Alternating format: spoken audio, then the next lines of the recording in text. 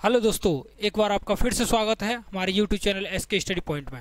आज जो हम डिस्कस करेंगे वो रहेगा एक से हंड्रेड तक के स्क्वायर सेकंडों में आपको निकालना बता दूँगा कि स्क्वायर किस तरीके से निकाले जाते हैं। बहुत सारी आपने वीडियो यूट्यूब पर देखी होंगी मगर इस, इस जैसी नहीं देखी होगी। आँखों आँखों में आपको निकालना आ जाएगा मात्र चंद सेकंडों में ओके चलिए समय न गवाते हुए स्टार्ट करते हैं। मेरा देखिए मेरे मैंने एक हंड्रेड रखा हुआ पहले यहाँ पे।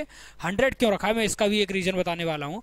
मैं हंड्रेड तक की नंबरों को दो पार्टों में बांट लेता हूँ। एक से पचास तक के नंबरों में बांट लेता हूँ, दूसरा इक्यावन से सौ तक के नंबरों में बांट लेता हूँ, ओके? मैं इस तरीके से नंबरों में बांट लेता हूँ।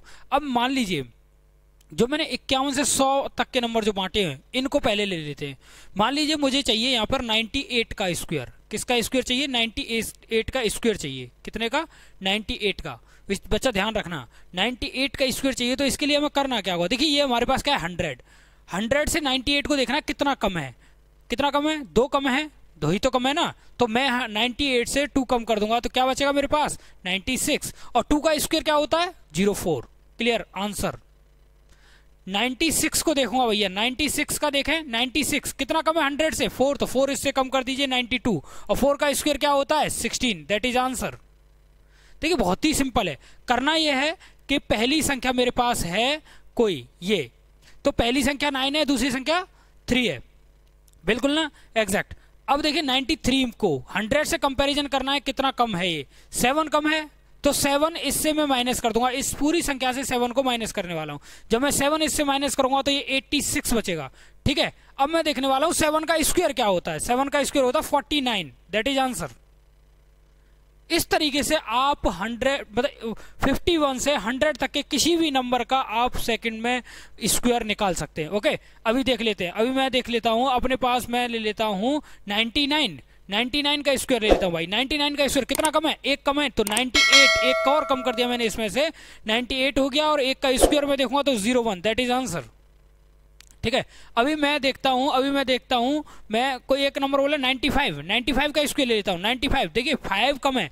कितना कम है? फाइव तो फाइव मैंने इससे माइनस किया ज़ीरो फाइव हो गया फाइव का स्क्वायर होता है ट्वेंटी फाइव ये दैट इज़ आंसर तो इस तरीके से आप सारे के सारे स्क्वायर निकाल सकते हैं। अब हम बात करते हैं वन से फिफ्टी तक की।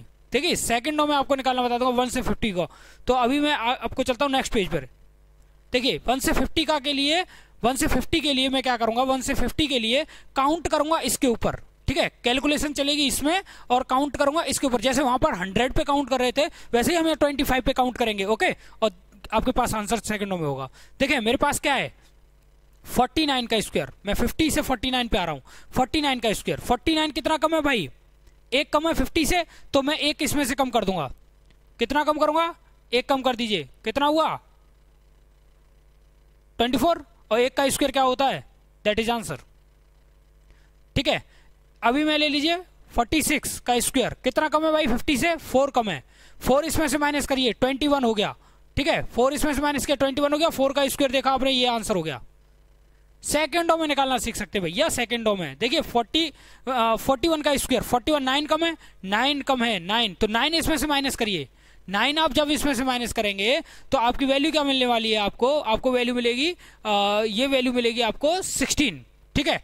नाइन कम है और नाइन का स्क्वायर क्या होता है? Eighty one that is answer तो इस तरीके से आप जो है सेकेंडों में स्क्वायर निकालना सीख सकते हैं और आप ट्राई करिए अपने घर पर स्क्वेयरों को निकालना और स्क्वेयर निकालने के बाद आप मुझे बताइएगा कि आपको आए कि नहीं। अगर आपको नहीं आते हैं तो फिर मैं आपको इससे भी बेहतर ट्रिक दूँगा और सेकंडों में आपको स्क्वेयर निकालना बताऊँगा एक से हंड्रेड तक के। आज की वीडियो में इतना ही।